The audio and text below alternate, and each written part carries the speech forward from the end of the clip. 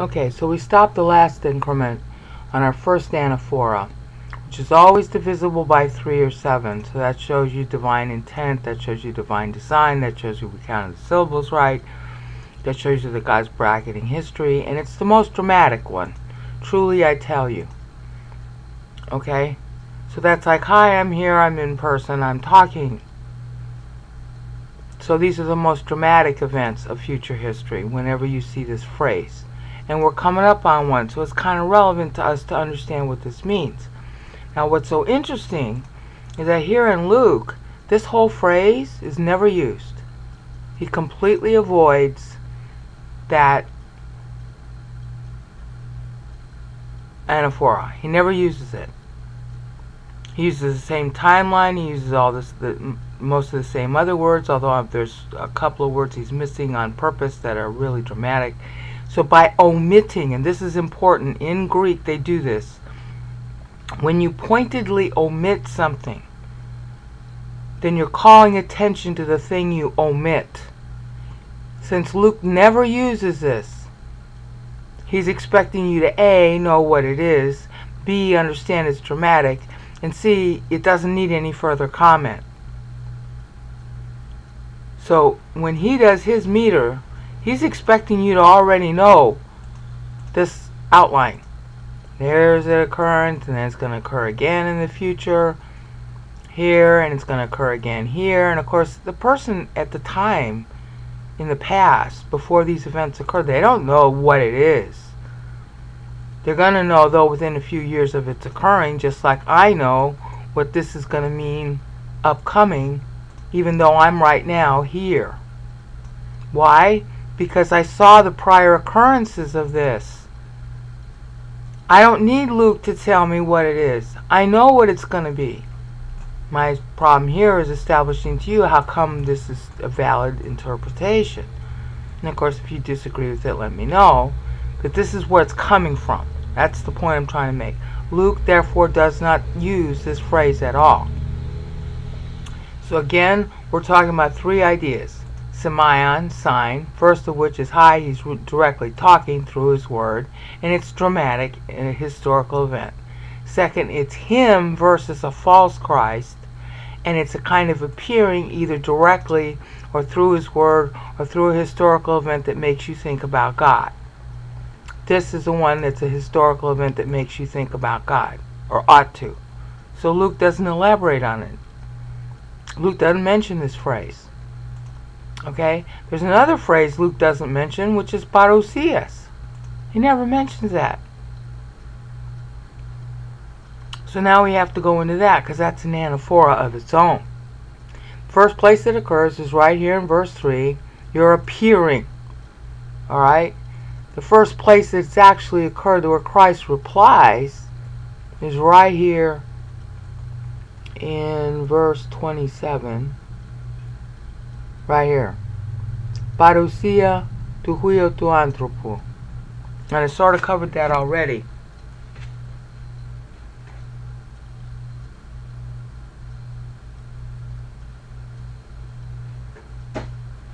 Sorry, I had to take a break. I thought I was going to cough. That's 863 AD. I already explained that. That was the year that Louis the German conquered Moravia and he ordered um, um, the conversion of the Moravians to Christianity. And the conversion to Christianity was accomplished first by means of them developing an alphabet that the, that the Moravians could read, which is the Cyrillic script, invented by a guy named Cyrus and Methodius, who were the two evangels, as it were, to the Moravians. They, they translated the Bible into Moravian using a Cyrillic script, and it's because of them that Russia got evangelized. Russia, who coincidentally, ha ha, not so coincidental, three years prior to this had just finished raiding Byzantium. Russia was pagan at the time it did this. It did not know that what it took as plunder would include Bible because it was on this really expensive vellum. But Cyril and Methodius would know what it was when they looked at it because they could read the Greek. And so Methodius, in a way, Methodius and Cyril representing the appearing of the Son of Man through Scripture they're also getting the appearance of the Son of Man to them by the plunder by the Russians. So the Russians end up getting evangelized. Cyrus and Methodius end up getting manuscripts they didn't have because Byzantium was raided. And Russia gets converted. That's the appearing of the Son of Man to you when you didn't know he existed. That's Isaiah 52:15. Those who never heard of him, they now see. Those who never heard tell of him, they now well know. Okay, that's Isaiah 52:15 in which is part of Isaiah 53 in the Hebrew. That's happening right here. So that's a parousia. That's an appearing of God to you. And that's the first time it occurs. And notice that's a sevening. Every single time you got this phrase, parousia tu huio tu anthropo, it's sevens. Every single time. So that tells you it's important. That tells you it's planned. Sheba is seven. Seven means promise. It also means the seventh day of the week and seven. That's appearing of the Son of Man, the promise of his appearing.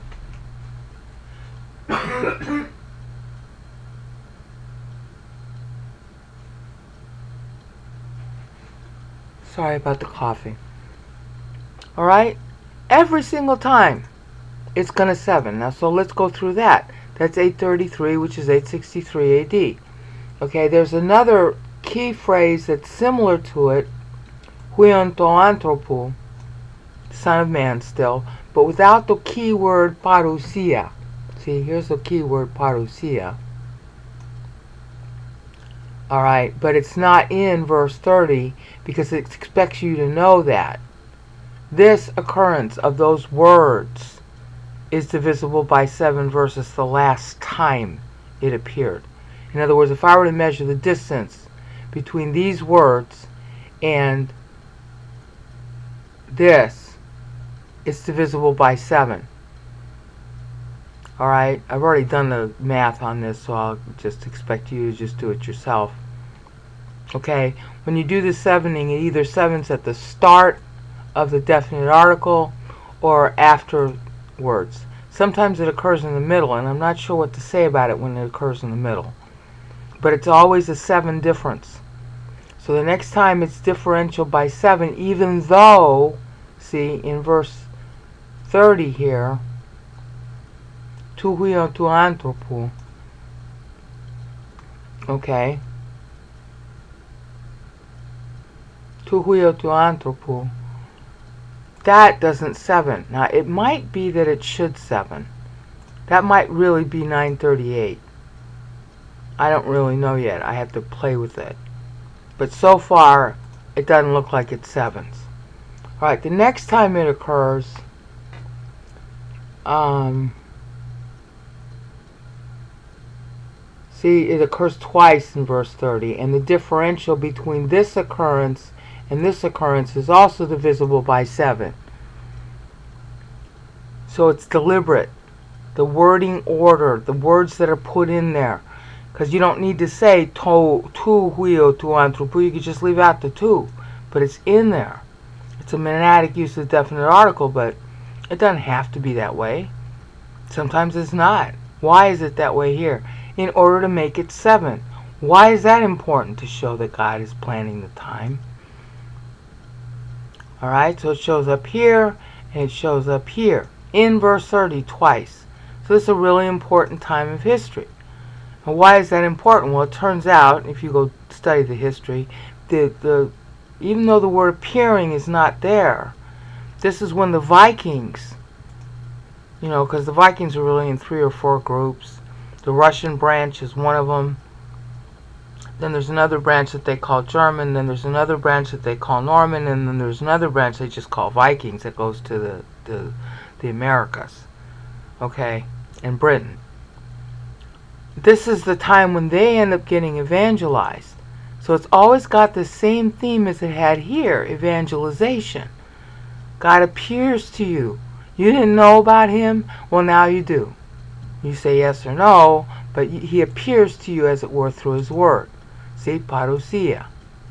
Now the word parousia is not reiterated here, but the rest of the phrase, because the full phrase is parousia tu huio tu anthropo. See, they're looking for the signs of his appearing, his appearing. So his nickname from Daniel 7:13 is tu huio tu anthropo. Tuhuias tu uh, ho huias to tu anthropo. Now Christ himself is making that phrase. The actual phrase in Daniel is not doesn't have those two articles in it. He's saying he's the only one. When he's got those two articles in it, that's Greek for saying, Hi, I'm the only one. It's called monadic. Alright? It's not son of man, okay, at all. That's not, you know, the, the actual words in the Hebrew of Daniel 7.13 are bar enash. It's not ben Adam. Ben Adam means son of Adam, and that's not what this is saying. This is anthropo, not Adam. So this is the unique use of Daniel 7.13 in the New Testament that Christ himself coins. Alright, so it's him and him alone, not a false Christ. That's the important thing. So we had the phrase repeated here, and then it's repeated again here. The distance is always 7. And see, it, instead of using appearing, you got words like coming. And see, here's Semeion. So it's still talking back to Matthew 24, verse 3. Alright, and the distances between these terms is divisible by 7, even if the ending clause is not. But when you have parousia as the clause, then it's divisible by 7, the, the actual total. And we see that the next time here in verse 42. Is it verse 42? Ah, no, verse 39. Parousia tu tu. Okay, and then before that, up here, parousia tu huio tu anthropo. See?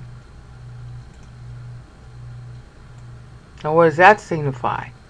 Well, this is 1255 AD, and what was significant about parousia then is the word is appearing suddenly all over Europe in the form of a revolutionary new Bible format that was invented by the College of Paris. There were two, two places in Europe that were principally responsible for creating this new format of a Bible that made it extremely easy to read.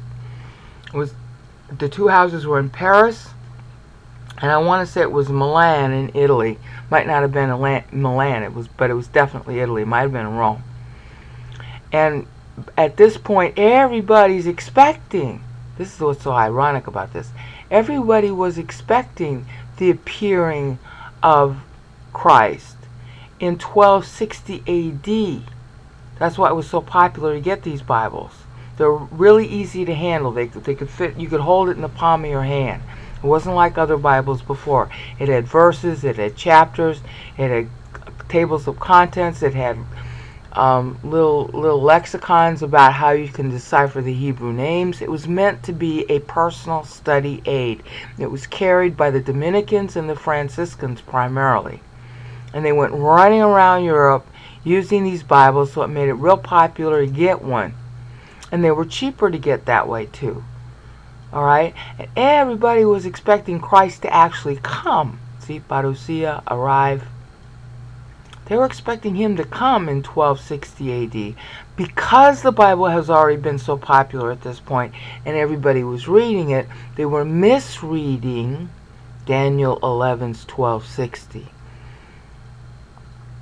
See, that's how you know how popular the Bible was. They were expecting him to come in 1260. It was so popular that they were misreading it.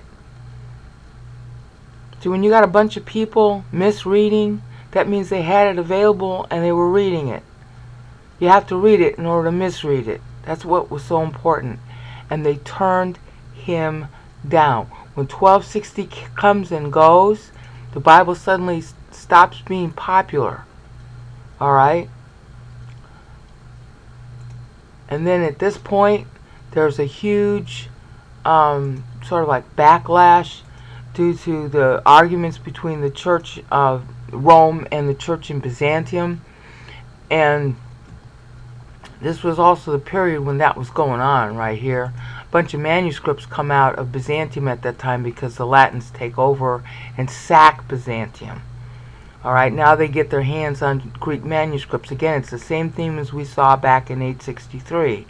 They sack Byzantium. They get their hands on a bunch of manuscripts. Now they're translating them. They're looking at them. They're getting better translations, blah, blah, blah. And by this point, 1339, those better translations, etc., have come out. But because people are bored, because the, the appearing of the Lord didn't happen in 1260 the way they misinterpreted it, they don't pay attention when this bigger cache of manuscripts is actually translated and made available. So what happens after 1339? Well, if you know your history, you know. Starting in 1348, well, just before this 1339, the Jews start getting expelled. That's always a sign of negative volition of God. The Jews start getting expelled. They go to Poland and Milan for the most part. And the Black Death comes in starting in 1348 which is a few years after this 1339 marker here. So Christ appears, they get negative, they expel the Jews, and then the Jews went to Poland and Milan, and those are the only two places that got exempted from the Black Death. And the Black Death kept on coming back and back again and again and again. In 1290, for example, see this 1246 at 1276, 1259, that's 1289, so starting right here, Acre. That's when England expelled its Jews. Well, about actually 94, so that's that's 90, 91, 92, 93, 94. In the middle of Hamaros, in the middle of those days, they start expelling the Jews from England and then they go to France, and they expel them from France, and then they go to Spain, and then they expel them from Spain. There were many expulsions. And so, when they get expelled, they go to a new place, and the new places they went to where they were welcome were in Milan and Poland. Because remember, back up here, Moravia, Moravia, Poland, Russia, they all got affected by this little thing that happened here, the Parousia here. And unlike everybody else, there were at least a few in Poland and Milan who really cared about the Word of God, so they allowed the Jews to come to them, and then wherever the Jews went, they were exempted from the plague that hit everybody else who expelled the Jews. So you see how this is pretty important. And you'll notice, of course, God appears and it's sevens. Here, and here, just like back in 833 where we saw it the first time, 70 parousia tu anthropo. Okay? Now the last time that it's sevens is, I want to say verse 42 or 44. Well, here's huios tu anthropo. Again, there's a sevening to the last time that the phrase was used. And the total doesn't seven. But the but when you count the syllables from one occurrence to the next occurrence of the phrase, it does seven. Okay, so I don't see another. I guess 39 is the last one. Then there's another one all the way at the end in Matthew 25, which is way future to us. Um, was it Matthew 25, 41? Ooh. Or 44.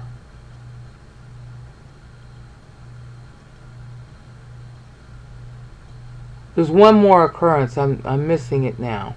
But there's one more occurrence of parousia to, to anthropo. To huia to anthropo. But that's way future compared to us. The point is, is that it's sevens each time. So the next one is at a 7, but I just don't remember where it is right now. I put it in the Frank Forum thread. Okay? So that's our second anaphora. And again, it's dramatic. It's dramatic about the Bible getting out and arriving to people. It's dramatic about the missionary activity. It's dramatic about the translation of the Bible. It's dramatic about people being able to understand, even to the point of misunderstanding and misusing what the Bible says. Like they misuse it here to think that in 2060 AD, that's when Christ is supposed to come back. So he's making, he's sort of, you know, mocking that. But at the same time, they really were interested enough to get all these little tiny Bibles that Dominicans and Franciscan friars were carrying with them everywhere they went, and then of course the richer people were ordering them because they were the, they were pretty they were the this was the first time in history that the Bible that we have that we look at came to have that same format that we have today. That's how that's how you learn what parousia to anthropo to huio to anthropo means. Is by looking at the history. And again, it happened again, and then those Bibles start to go out of fashion here. So the plague comes in. If you don't want the appearance of the Son of Man, how about the appearance of a plague? You don't want the appearance of the Son of Man, so you kick out the Jews? Okay, so how about the appearance of the plague? Because without the Jews, you don't have the Hebrew Old Testament. Vote short. They didn't vote the way they should have in time. So, the next seven years, they're judged. You know, there's seven more years that happen, and they're judged because 1339 plus seven is seven is 1346. See how that works? So it's pretty predictable what this stuff means as an anaphora. Alright? So now we have to get to the next occurrence of another term that's used similar because as we started back up here, remember there's three basic terms we're explaining. Semeion, which we've kind of covered now. Him, Christ, versus false Christ and parousias, which we just covered now. The next thing we've got to cover has to do with the actual word Christ or Lord. Okay? And that's what we'll cover next in the next increment. Because that's also the separation between the occurrences of the word Lord, which is where I'm getting what I'm saying about Trump. They're also divisible by 7.